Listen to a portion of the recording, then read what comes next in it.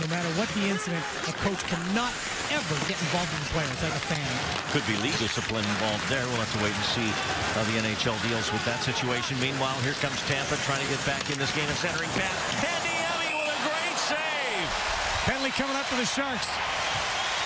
Marc-Edouard Vlasic in the penalty box. Good drive wide, centering the puck. Steve Downie going to the net.